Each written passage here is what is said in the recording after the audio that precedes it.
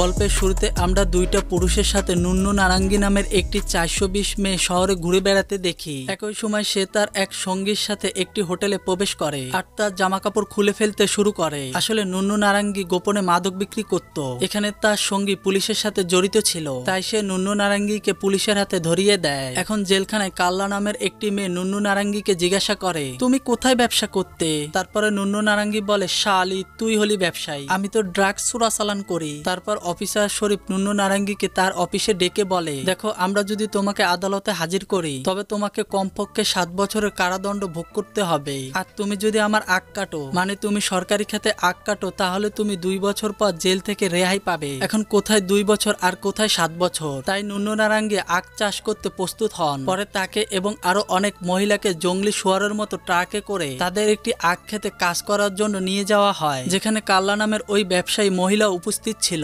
প্রখর রোদে কয়েক ঘণ্টা ভ্রমণ করার পরে অবশেষে তারা একটি সরকারি আখ্যাতে পৌঁছায়, যেখানে আগে থেকে অনেক নারী ও পুরুষ কাজ করছিল। ট্রাক স্লো হওয়ার সাথে সাথে সুজন নামের একটি মেয়ে টলি থেকে নেমে সেখান থেকে পালাতে শুরু করে, কিন্তু পরে ওই বেচারি মেয়ে ধরা পড়ে যায় এবং তারপর অফিসার প্রথমে তাকে কয়েকটা ঘুষি মারে আর তারপর জোরপূর্বক ফিরিতে গপাগপ করে। তারপর সেখানকার জেলা সেই সমস্ত মহিলাকে ধরে ধরে তাদেরকে পরীক্ষা করে। নুন্নু নারাঙ্গি আজ পর্যন্ত লোকেদের আগ কাটতো, কিন্তু সে রিয়েল আগ কাটতে জানতো না, যার কারণে এক অফিসার তাকে আগ কাটা শেখায়। তারপর সেখানে কিছু পুরুষকে কাজের জন্য ট্রাকে করে নিয়ে আসা হয়, যেখানে মোজো নামের ওই কালো লোকটি কাল্লাকে ইশারা মারে, আর কাল্লা সে তার হৃদয় তাকে দিয়েছিল। রাতে যখন সমস্ত মহিলারা তাদের কুড়ে ঘরে ঘুমাচ্ছিল, তখন তাদের মধ্যে একজন মহিলা ফুফিয়ে ফুফিয়ে কাঁদছিল, কারণ সে আখের চাষবাদ সহ্য করতে পারছে না। ওই সমস্ত বন্দীদের ওষুধ সরবরাহ করতে সেখানে উইল নামের একজন ডক্টরও ছিল, যিনি বন্দীদের চিকিৎসা নামে তার আলতু ফালতু ওষুধ দিয়ে এক্সপেরিমেন্ট করত। আর সেই সমস্ত বন্দীরা তাকে একজন ভালো মানুষ বলে মনে করত, এমনকি নিজেদের উপর ড্রাগস ব্যবহার করত। ভিতরে ভিতরে সে ডক্টর এতটাই রাগান্বিত যে সুযোগ পেলে সে মেয়েদের মারধরও করত। এদিকে কাল্লা মোজোকে নিয়ে জঙ্গলের গহিনে চলে যায় এবং মাঝে মাঝে তাকে তার গুহা দর্শন করাতো। নুন্নু নারাঙ্গি সেখানে একটা অফিসারকে পটিয়েছে আর সেও তার জৈবন উপভোগ করতে তার সাথে মাঝে মাঝে জঙ্গলের গভীরে যেত।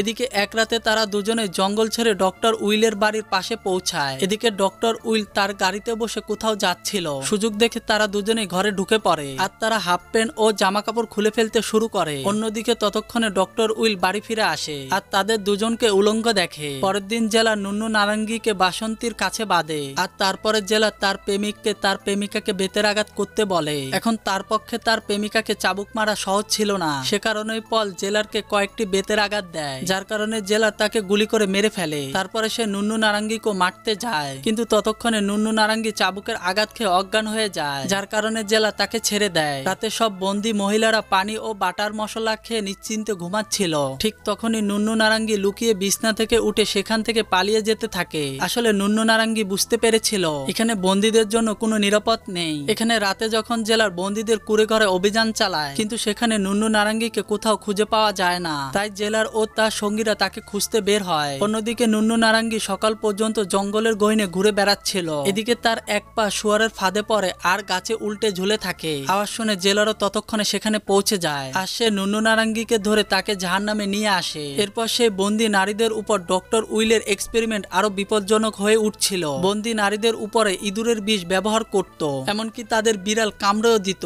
এরপর একদিন শ্রমিক হিসেবে কাজ করার পর নুন্নু নারাঙ্গি, কাল ও মোজো তার কিছু বন্ধুদের সাথে জঙ্গলের গভীরে যাচ্ছিল। তখন মোজো নুন্নু নারাঙ্গিকে একটি পাঁচ টাকা রিং পরিয়ে দেয়। আর চারিদিকে জনসিন বেবি পাউডার ছিটিয়ে দেয়। আসলে মোজো কালো জাদু জানতো। আর সে এই পদ্ধতিতে এখান থেকে বেরিয়ে যাওয়ার রাস্তা খুঁজছিল। এখন এই কৌশলে তারা রাস্তার ধারে কিছু মানুষের মাথার খুলি খুঁজে পায়। গর্ত করার পর তারা শুধু একজনের নয়, অনেক মানুষের কঙ্কাল পায়। এ থেকে তারা সবাই বুঝতে পারে, ডক্টর উইলের এক্সপেরিমেন্টে যারা মারা যায়, তাদেরকে এখানে কবর দেওয়া হতো। এরপরে মোজো কাল্লার এবং নুন্নু নারাঙ্গির হাতে দুইটি খুলি নিয়ে ডক্টর উইলের কাছে পৌঁছায়। আর তারা তাকে বলে, ডক্টর উইল এই এক্সপেরিমেন্ট বন্ধ না করে আর তাদের মুক্তি না করে। তবে তারা তিনজনই ডক্টর উইলের এই বিপজ্জনক এক্সপেরিমেন্টের সম্পর্কে সবাইকে বলে। এখন ডক্টর উইলের আর কোনো উপায় ছিল না। সেজন্য সে রাজি হয়ে বলে, তিনি জেলারের কাছে তাদের মুক্তির জন্য সুপারিশ করবে। একই রাতে মোজো জঙ্গলে গিয়ে জনসেন বেবি পাউডার দিয়ে একটি বিদ্যুৎ তৈরি করে তার মাঝখানে বসে। তার হাত ছড়িয়ে আচার অনুষ্ঠান শুরু করে। প্রথমে সে জাদুটোনা করতে শুরু করে। তখন সেখানে জেলারের একজন লোক এসে তার উপর লাথি ঘুষি মারতে শুরু করে। কয়টা ঘুষি খাওয়ার পর মোজো শেষ পর্যন্ত অজ্ঞান হয়ে যায়। এরপরে জেলার মোজোকে ডক্টর উইলের আড্ডাখানায় নিয়ে আসে। তারপরে ডক্টর উইল আর জেলার একসাথে তার উপর ঘাসের তেল ছিটিয়ে দিয়ে তাকে জীবিত পুড়িয়ে দেয়। যখন সে মারা যাচ্ছিল, মোজো সাহায্যের জন্য ঈশ্বরের কাছে প্রার্থনা করছিল। কিন্তু তার কণ্ঠস্বর শোনার জন্য এখানে ডক্টর উইল এবং জেলার ছাড়া আর কেউ ছিল না। পরের দিন জেলার সমস্ত মহিলার কাছে গিয়ে তাদেরকে বলে, মোজো গত রাতে পালিয়ে গেছে। জেলারের কথা শুনে সেখানে কোনো মহিলা বিশ্বাস করে না। এদিকে কাল্লা জেলারের উপর রেগে একটা চাকু দিয়ে তার আঙ্গুল উড়িয়ে দেয়। এখন এই ঘটনার কারণে কিছু অফিসার এসে কাল্লারকে তাদের সাথে নিয়ে যায়। ওই রাতে নুন্নু, নারাঙ্গি আর বাকি সব বন্দি নারী একসাথে মিলে এখান থেকে পালাতে আর কাল্লারকে ছাড়াতে একটা পরিকল্পনা করে। অন্যদিকে কাল্লারকে ডক্টর উইল একটি খাঁচায় রেখে নিচে আগুন জ্বালিয়ে তাকে রান্না করতে ছেড়ে দেয়। আর দূর থেকে সে একটি চেয়ারে বসে লাল পানি খেতে খেতে তা উপভোগ করছিল। তখন সেখানে নুন্নু, নারাঙ্গিও গোপনে গোপনে পৌঁছে যায়। আর ডক্টর উইলকে পিছন থেকে আঘাত করে অজ্ঞান করে ফেলে। এরপরে সে কোনো রকমে খাঁচা থেকে কাল্লারকে মুক্তি করে। আর তারপরে সে এবং কাল্লার একসাথে ডক্টর উইলকে একটি রুমে নিয়ে আসে এবং তাকে এই জঙ্গল থেকে বের হওয়ার রাস্তা জিজ্ঞাসা করে। এখন তার সামনে দুই পাওয়ার পাওয়ারালি মহিলাকে দেখে ডক্টরের মুখ বন্ধ হয়ে যায়। কিন্তু সেখানে পিছন থেকে জেলারও পৌঁছে যায়। কিন্তু সে মারার আগে কাল্লা জেলারকে মারে। এরপরে নুন্নু নারাঙ্গি জেলারকে একদম খালাস করে দেয়। অন্যদিকে জেলের অন্য সব নারী বন্ধুরা খেতে পানি দেওয়ার জায়গায় ঘাসের তেল ঢেলে দেয়। আর তখন সেই মহিলারা খেতে আগুন ধরিয়ে দেয়। এরপর সব মহিলারা জিপ, ট্রাক এবং ভ্যানে লোড হয়ে সেখান থেকে চলে যেতে থাকে। কাল্লার তার জিপে করে ডক্টর উইলকে গুগল ম্যাপের মতো রাস্তা দেখাতে নিয়ে আসছিল।